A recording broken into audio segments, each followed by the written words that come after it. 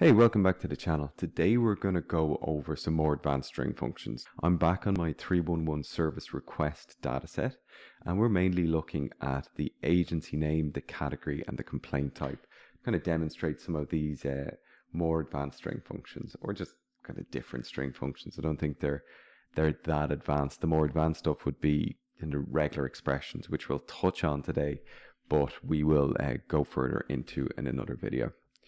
So the first thing I'm going to do is I'm going to run a query um, and I'm going to use a function called contain substring and this will return a boolean um, if a substring is contained within a certain column. So we're pulling the agency name, category and complaint type and then we're running this function contain substring complaint type cans appears in the string.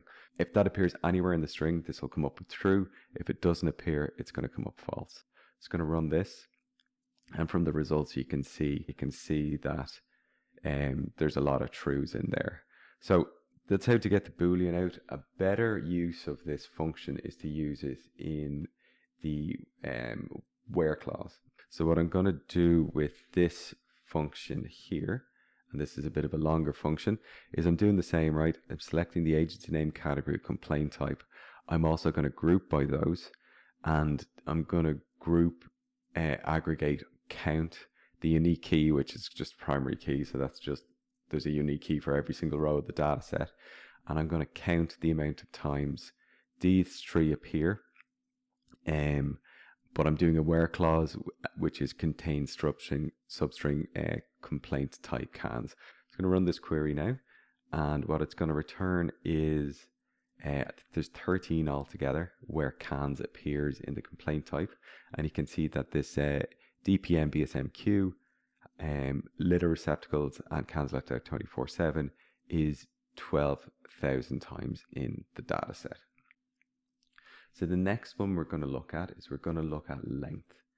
Um, and this is super useful for um, for filtering on length of certain fields. But for the first query, I'm just going to show you what that looks like on a line level.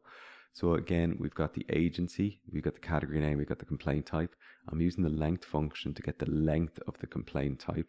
And I'm going to order this by length descending. So you'll see the ones with the larger length coming up first.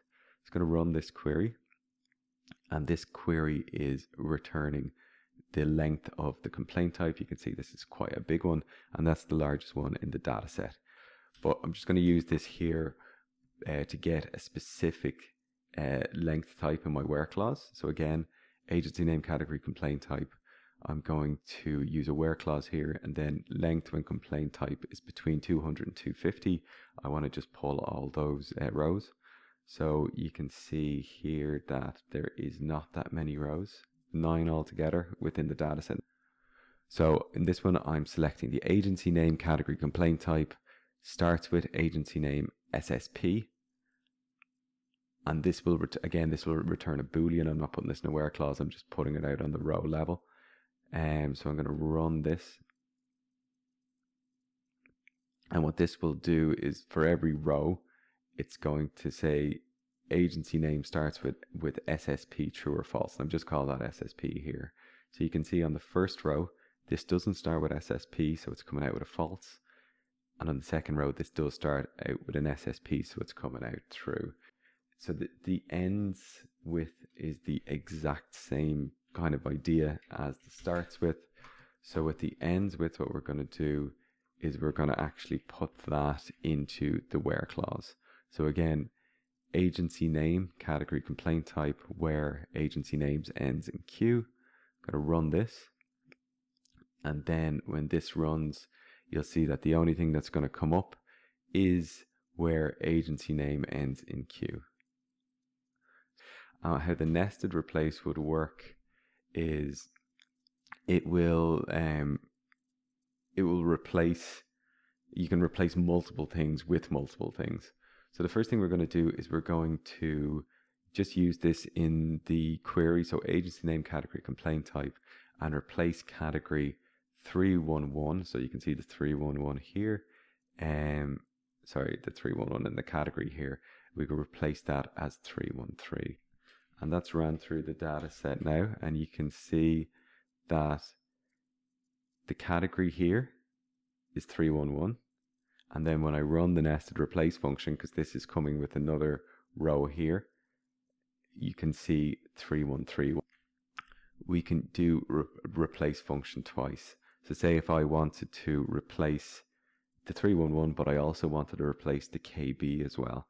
Um, and say I had multi, I can just do loads of different nests.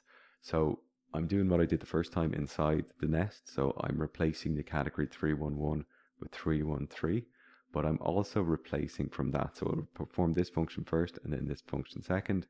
I'm replacing KB with 314. And you can see my nested replace here has replaced. So if I look at these two here, I've got my 311 has changed to 313 and my KB events has changed to 314. So I'm going to say for every for every complaint type that ends with 24/7, I want to get the posi position of left out. And I'll show you where you can use this later on. So this is more something to be used within another function. Um, so I'm going to run this.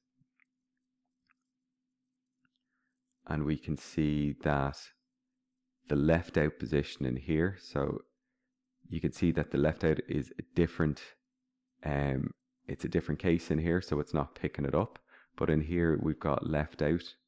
And you can see that that is string position 5. So one, two, three, four, five, And then that's coming out here. What I'm going to do is the same thing, right? Where complaint types end at 24-7. And I'm going to take a substring uh, from the complaint type and I'm going to put the string position in here. So this will start from our string position and I'm going to run this. So that five then comes into my my query. So if I say if I say in here I want a substring of this where the left out starts and what this will do is it'll just remove the first couple of uh, characters. So this is a substring that starts at string position 5 essentially for this one. So what that's doing is it's just changing this string to left out 24 7. So, so the last thing I'm just going to introduce is I'm going to introduce the idea of regular expressions. And regular expressions has a million different uses. The use case I'm showing is actually a BigQuery use case. So I'm going to get away from this data set and I'm just going to show you this one that I got directly from BigQuery. I'm going to go through um, I'm going to go through this later on in more detail, but just want to show you the power of regular expressions. So this will tell you if an email in a data set is a regular email. So what I'm doing is I have three um, sample emails here. I wouldn't really worry about, about this too much. This is just creating a data set of email addresses where one is foo at example.com, so that's an email address. One is bar at example.com, and one is a website. So if this regular expression works properly, it will tell us what's valid and what's not valid in a Boolean. So uh, what I'm doing here is a regular expression contains, I'm looking up the email row. So that's the email row here. And I'm asking, is this, um, is this regular expression in the email format? Don't worry about this too much. I just wanted to demonstrate this today. We'll go through this more advanced in a later video. I'm going to run this now. And what you'll see is that this is pulling the email row and it is correctly identifying if the email is valid or not. And you can see that this could have a million different use cases if you want to see if addresses are valid or not, if you want to see if phone numbers are valid or not, if you want to see formats valid or not. So it's really useful in data cleanup, um, in selecting dirty data and then going about fixing that. So I hope you found this video useful. This is our second video on strings and in future we're going to go on to this uh, regular expression video. See you next time for another BigQuery tutorial.